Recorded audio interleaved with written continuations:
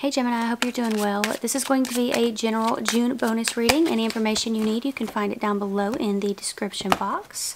We're going to go ahead and begin here, Gemini. I do have a deal going on right now for personals. Everything is down below for anybody who's interested. Um, Gemini. You have Judgment, the King of Swords, and the Tower showing up. Some of you are nervous about a decision that either has to be made or you've made it, but I would venture to say that you've already made it.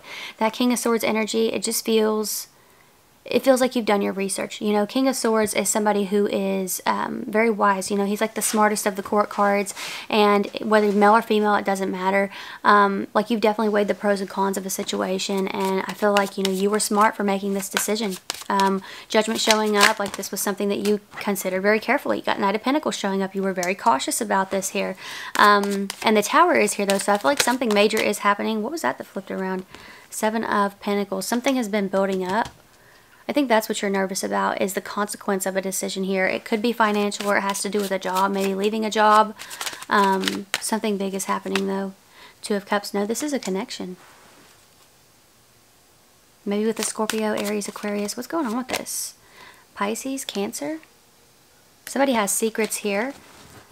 And I think it's this King of Swords. Um, right there in the middle uh, because judgment showing up you made this decision here king of swords right? I feel like you were just very you were very smart about it but king of swords can also represent a very cold energy. And i feel like on one hand king of swords like the very wise aspect of the king of swords like that was your energy when you made this decision here but the the cold side of the king of swords feels like someone else's energy here. Um like they're keeping secrets. What's going on with this? Oh okay. I see Look at this.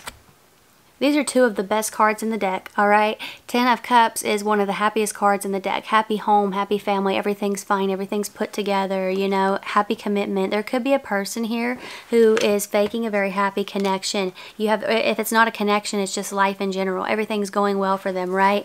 I feel like something really big is happening behind the scenes. They're battling something huge behind the scenes. It's been building up and I feel like you're going to see it here, Gemini. Um, I would definitely See, listen, I feel like some of you, you could be feeling guilty because of what's going on here, but I feel like this would have happened regardless of your decision. So I think that, um, yeah, this would have happened regardless of your decision. So I think that for a lot of you, you could be feeling a little bit guilty about this. I wouldn't. I wouldn't because I feel like this really honestly has nothing to do with you. Um, the fact that they are putting on this mask here and faking this Four of Wands, Ten of Cups energy, that has nothing to do with you either. I do feel that they're just wanting you to be curious about them and come back into their life because something chaotic is going on and they're wanting to lean on your energy because you are in a very high vibration and they're wanting to flip-flop energies with you. In that Two of Pentacles, that's exactly what's going on there. They're wanting to flip-flop energies with you here, share a connection with you, even if it's just physical. And, um, yeah, swap vibrations there. It's weird energy, Gemini.